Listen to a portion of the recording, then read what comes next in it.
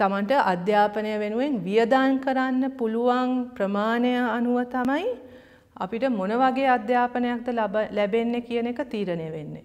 මේක නිදහස් අධ්‍යාපනය සම්පූර්ණයෙන්ම විකෘති කරන දෙයක්.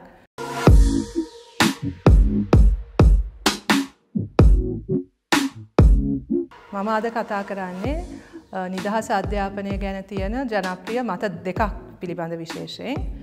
එකක් තමයි නිදහස් අධ්‍යාපනය කියන එක අපි හැමෝටම තියෙනවා කියන එක.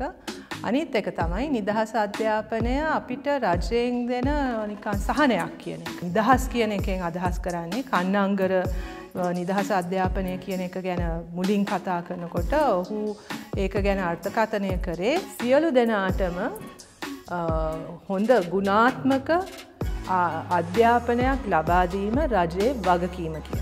ඉතින් ඒ අර්ථයෙන් ගත්තම නිදහස් අධ්‍යාපනය කියන එක රජය විසින් අපිට දෙන නිකං අර අනුකම්පාවට දෙන දෙයක් නෙවෙයි. පුරවැසියන් හැටියට අපේ අයිතිය තහවුරු කරන දෙයක්.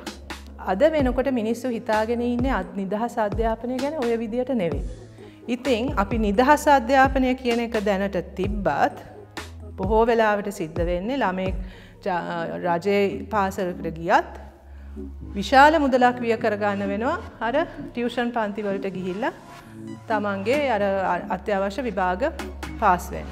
පාසලට යන්නේ නාමිකව. එනිකන් නම රෙජිස්ටර් එකේ තියෙනවා. ඉගෙන ගන්න ඇත්තටම ටියවෂන් වලින්. ගොඩක් අය මේක අපි අර ඔක්කොමලා වගේ එක බාර අරගෙන ඉන්නේ. මේක තමයි සාමාන්‍ය තත්ත්වය. රජයට සල්ලි නෑනේ. ඉතින් කරන්න දෙයක් නෑනේ. අධ්‍යාපනය කියන්නේ රජය විසින් වගකිව යුතු ශේස්ත්‍රයක් බදු ගෙවන්නේ අපේ ආදායම් වලින් විතරක් නෙවෙයි. මේ රටේ වැඩිපුර ආදායම් එකතු කරන්නේ අපි ඒවට කියනවා ඉන්ඩිරෙක්ට් ටැක්සස් කියලා. අපි තේ කොළ ගත්තත්, සීනි ටිකක් ගත්තත්, තේ කෝප්පයක් බිව්වත්, කිරි පැකට් එකක් ගත්තත්, මොනවා ගත්තත් අපිට වැට් බද්දක් එනවා ඒකට. මොකටද අපි මේ බද්ද ගෙවන්නේ? අපිට සේවාවන් සපයන්න.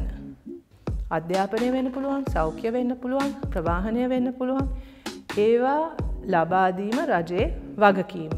මොක අධ්‍යාපනය දැන් තීන්දු වෙන්නේ තමන්ගේ මුදල් ප්‍රමාණය මත තමන්ගේ ආදායම මත තමන්ගේ තමන්ට අධ්‍යාපනය වෙනුවෙන් වියදන් කරන්න පුළුවන් ප්‍රමාණය අනුව තමයි අපිට මොන වගේ අධ්‍යාපනයක්ද ලැබෙන්නේ කියන එක තීරණය වෙන්නේ. මේක නිදහස් අධ්‍යාපනය සම්පූර්ණයෙන්ම විකෘති කරන දෙයක්.